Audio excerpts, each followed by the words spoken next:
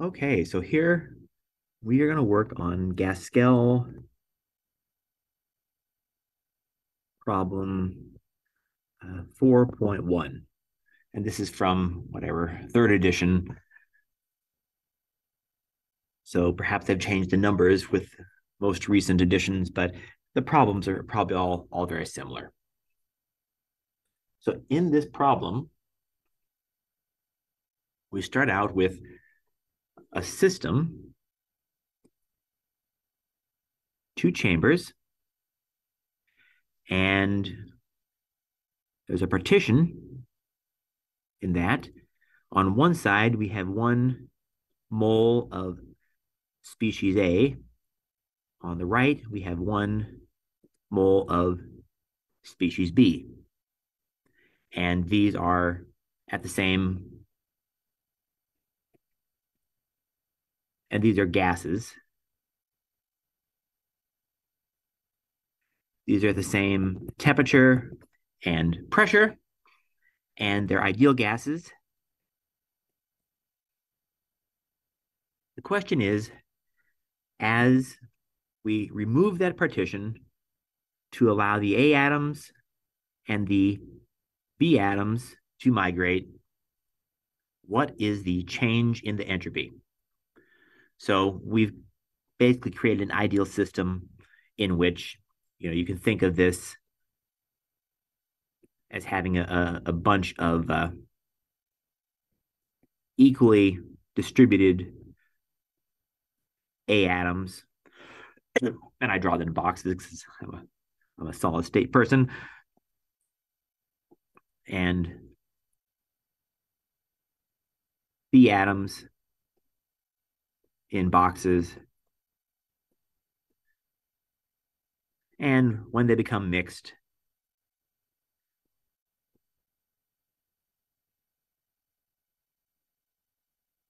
you have some degree of entropy change. So this becomes a counting problem,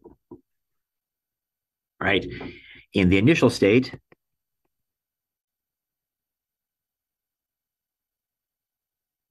call this uh, S1, if K natural log of omega, because it's a perfect system, and we're treating it as though all of these are perfectly occupied because it's an, a perfect gas that's just distributed itself uniformly. the perfect system. So that is one, which we get zero. So then as they mix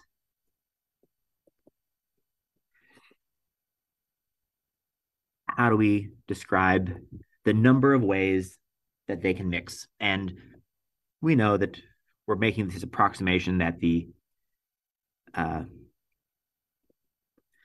the arrangement with the maximum number of of uh, of arrangements is approximately the total.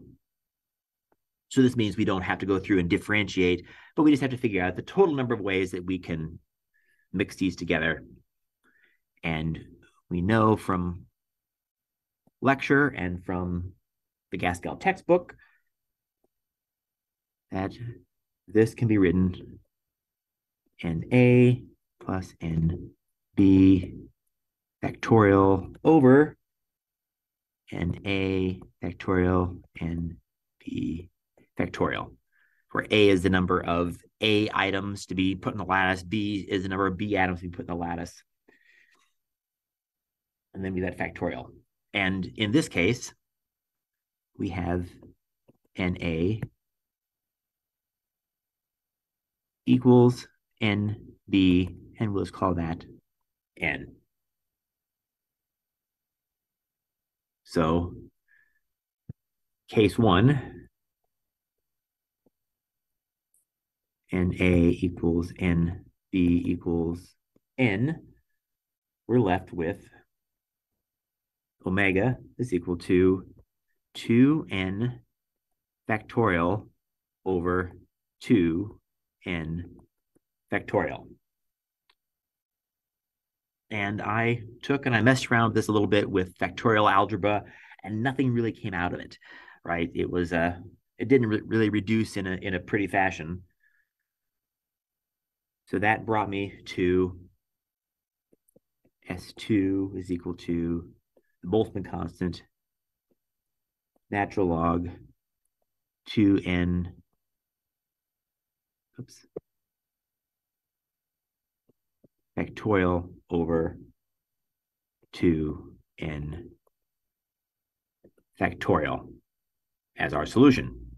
Well, not exactly. That kind of you're not going to be solving it that way, right? Because putting in n, uh, you know, Avogadro's number is, is not going to come out.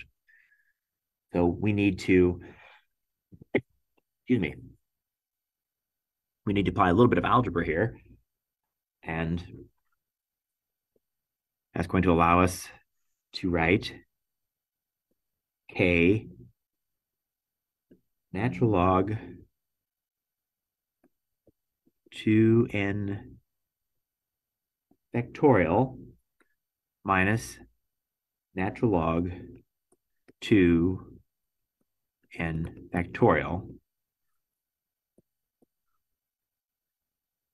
is equal to k, hmm, excuse me, natural log 2n factorial minus natural log of 2 plus n, the natural log of n factorial. To solve this, we're going to work with the Stirling approximation. So the Stirling approximation T-I-R-L. It gives us that the natural log of a factorial is approximately x ln x minus x. And that's going to allow us to address this and this. So applying the Stirling approximation, we get, oops, we get Boltzmann constant, 2n natural log 2n minus 2n minus natural log of 2 from above minus the quantity n natural log of n minus n. And we can take that to n and expand upon that to get uh, k 2n natural log 2 minus natural log n minus 2n minus natural log 2 minus n natural log of n plus n, you know, carrying our negative sign across.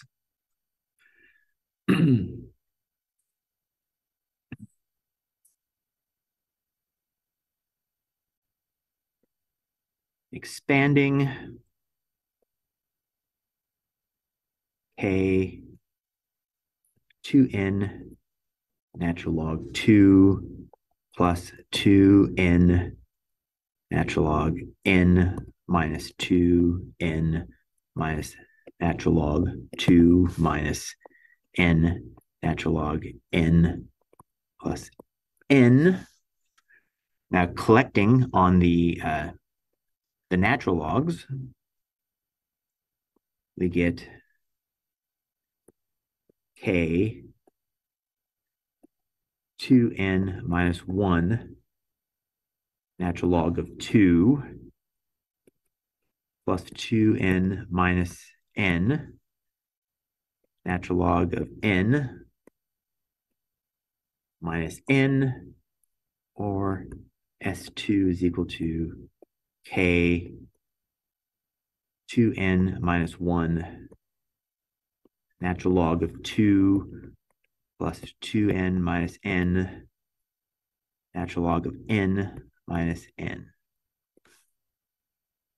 And here we have uh, n is equal to 1, right? That's how we set up our problem. So that gives us S2 is K 2 minus 1 natural log of 2 plus 2 minus 1 natural log of 1 minus 1. Well, that is 0. So we get S2 is equal to K natural log 2 minus 1. Okay, so that's a fairly significant simplification. Let's go on to case two. And in case two, the, the book says, uh, imagine that there are two mole, excuse me, two mole of species A or B, whatever, it doesn't really matter. You have a two to one ratio. And the picture, at least in my mind, is going to look like this two mole A, one mole B. And it has to look like that because I think that to really be a, a fair problem, we need to have the, the pressures remain constant. And I, I think that's implicit in this problem. So in case two, we have number of, of A is equal to 2 times the number of B is equal to 2n. So going back, we have omega is equal to 2n plus n factorial over 2n factorial n factorial, which is 3n factorial over 2n factorial n factorial. And again, factorial algebra doesn't help much. So we're going to jump into computing the entropy. S2 is equal to K natural log of 3n factorial over 2n factorial n factorial,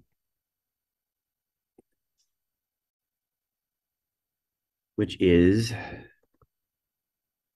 k natural log 3n factorial minus natural log 2n factorial minus natural log n factorial.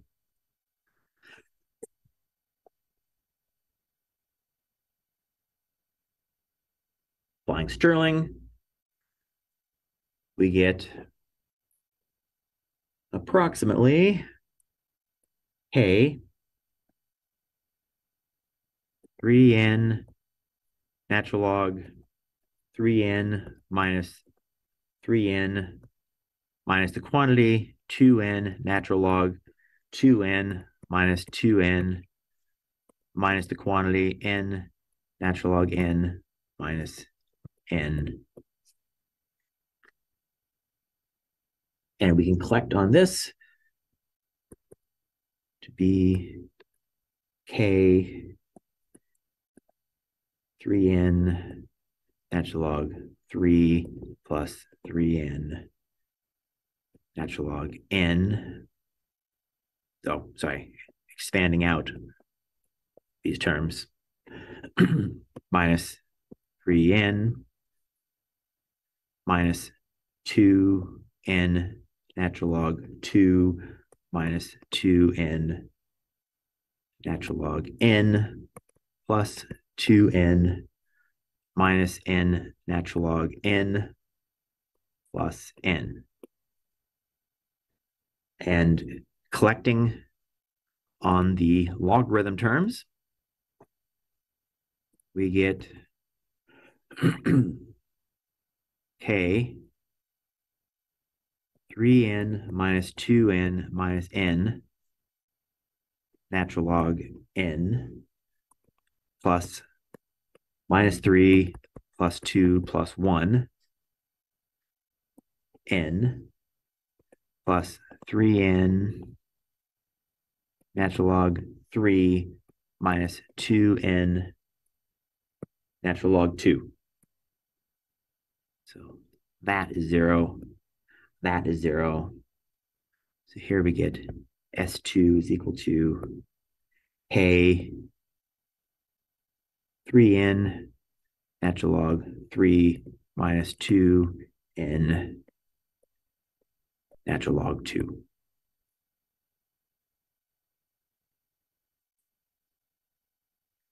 And, uh, you know, you look at this, you kind of start wondering if there's a solution for, uh,